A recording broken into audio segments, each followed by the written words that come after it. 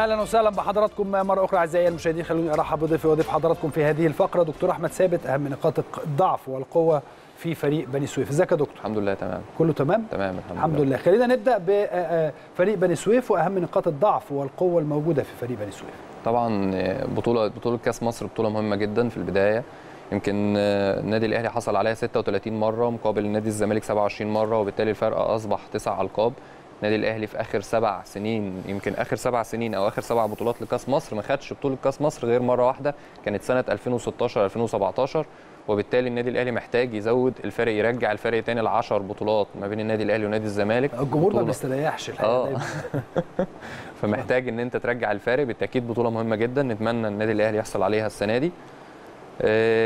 بالتأكيد فريق بني سويف يمكن هم ماشيين بشكل كويس جدا في في الدرجة الثانية في هم مختلف يعني في في بني سويف في نادي بني سويف وفي نادي تليفونات بني سويف. نادي بني سويف هو في المركز الثاني نادي تليفونات بني سويف في المركز الثالث ماشيين بشكل كويس في الدرجة الثانية في مجموعة الصعيد يمكن هم نتائجهم سريعا كده. كسبوا النادي في الدوري الدرجة الثانية كسبوا شبان المسلمين إن 4 0 كسبوا بني سويف في كسبوا سوهاج في كأس مصر.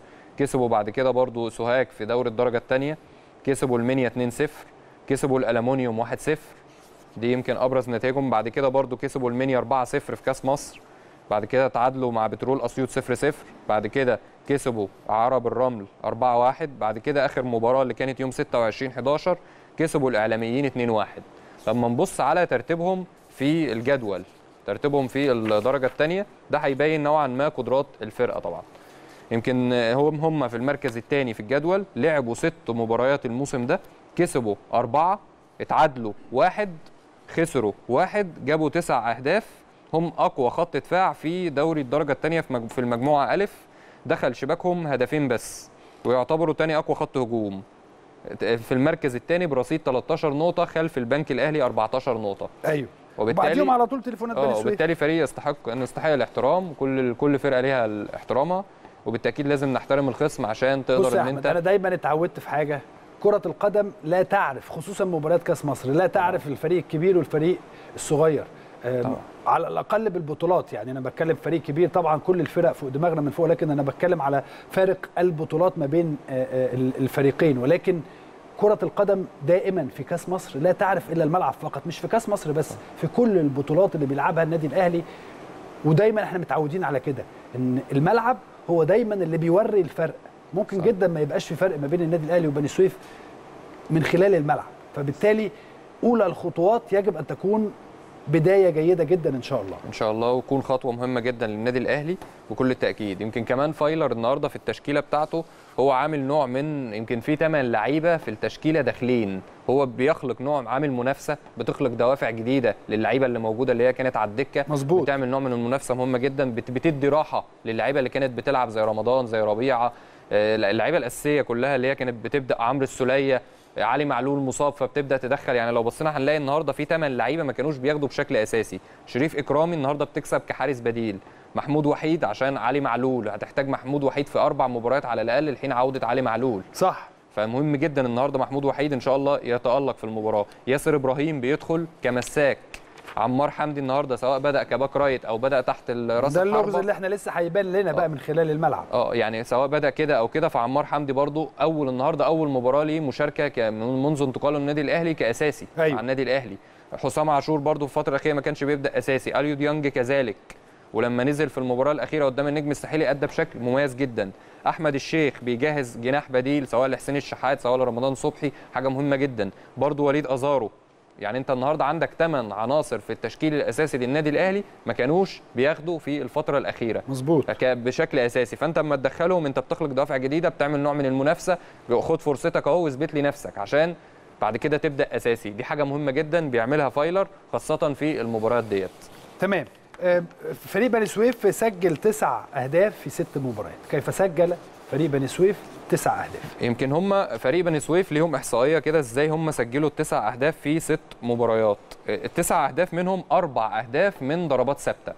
أربع أهداف من تسعه يعني بنسبة 44 و4 من من 10 في المية أربعة من تسعة ضربات ثابتة. بعد كده عليهم لعبة من رمي التماس اللي هي رمية التماس الطويل. آه. اللي هو ليهم رمية التماس الطويل دي هنشوفها معانا بالفيديوهات بيرموا رمية تماس طويلة جوه منطقة الجزاء. بعد كده تسديد على حدود منطقة الجزاء. بعد كده هجمة مرتدة بعد كده ضربة جزاء. إذا أهم حاجتين إيه في الفرقة دي في الناحية الهجومية؟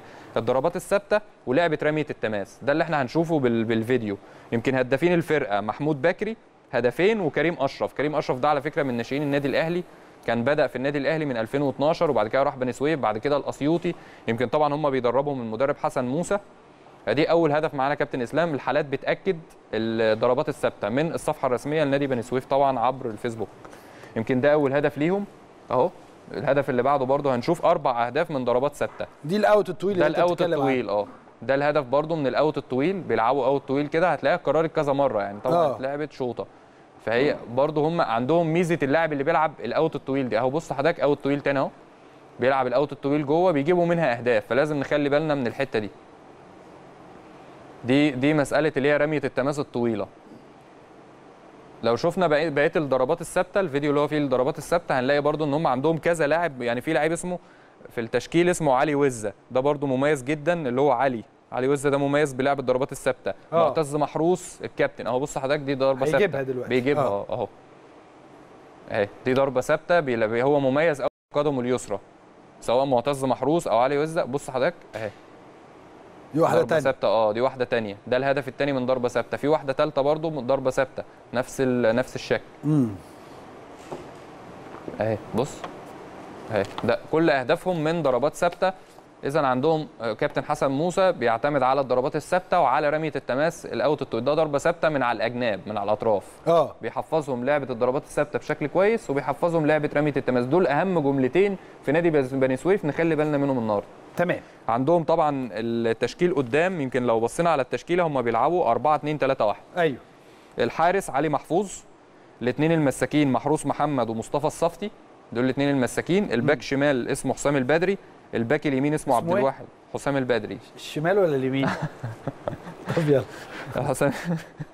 الباك الشمال اسمه حسام البدري الباك اليمين عبد الواحد عبد العزيز. ماشي. الاثنين الارتكاز معتز محروس. معتز محروس ده هو يعتبر قائد الفرقة وهو لاعب دوري ممتاز كتير قوي. أكتر آه. واحد فيهم عنده خبرات. الناحية الثانية نصر رمضان الارتكاز الثاني صانع الألعاب علي وز اللي هو مميز بلعب الضربات الثابتة زي ما قلنا عليه. الاثنين. الجناحين محمود بكري ومصطفى بيليا تمام. وقدام المهاجم كريم أشرف وكريم أشرف ده اللي إحنا قلنا عليه إن هو كان من ناشئين النادي الأهلي. أيوه. وبعد كده انتقل للأسيوطي ولعب في بني سويف ولعب دوري ممتاز برضه لما صعدوا النادي الأسيوطي وبعد كده رجع تاني بني سويف. فهو هو أصلا من ناشئين بني سويف فبيمشي كده إعارات ويرجع إعارات ويرجع. فمن اللعيبة المهمة جدا كريم أشرف والثلاثه اللي قدام برضه زي ما قلنا محمود بكري ومصطفى بيليا يمكن هم على المستوى الدفاعي بالتأكيد هيبقى في فرق قدرات. النهارده وليد أزارو يستطيع بسرعاته إن هو يخليهم يرتكبوا ضربات جزاء أو يرتكبوا فاولات كتير. دي هتبقى نقطة مهمة جدا. محمود وحيد النهارده نقطة ضعفهم يعني البارزه قوي إن هم عندهم المساك الأيسر مش موجود ومصطفى الصف الصفتي ده كان بيلعب باك شمال فدخله كمساك. مم. فدي هتعمل مشاكل كبيرة جدا الجبهة اليسرى عندهم. اللي هيبقى فيها سواء لعب فيها عمار حمدي لعب فيها حسين الشحات رحل عليهم وليد سليمان. فدي هتمثل مشكلة كبيرة جدا عندهم وأعتقد إن إحنا إن شاء الله نقدر نستغلها. كذلك سرعات وليد أزارو مع الدفاع بتاعهم والبطء اللي عندهم وليد أزارو يقدر يستغلها خبرات اللعيبة اللي عندك وليد سليمان تمام. عندك أحمد الشيخ عندك اللعيبة اللي عايزة تاخد فرص زي محمود وحيد زي ياسر إبراهيم زي برضو أكتر من لاعب ممكن ياخد فرصة زي ما اتكلمنا ثمان لاعبين النهارده من النادي الأهلي ما كانوش موجودين بشكل أساسي بياخدوا تمام.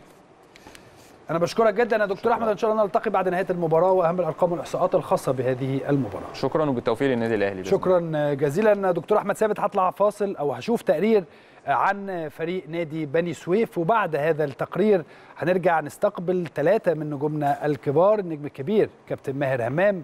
أنا عايز منه 200 جنيه اما نشوف النهارده. خلينا بعد الماتش بعد الماتش. ربنا يكرم إن شاء الله. أه هقول لكم ليه وال 200 جنيه هاخدهم منه على الهوا. ماليش دعوة. كابتن الكبير النجم الكبير الكابتن ماهر همام النجم الكبير الكابتن شريف عبد المنعم أيضا النجم الكبير كابتن أحمد بلال بعد هذا التقرير عن فريق نادي بني سويف.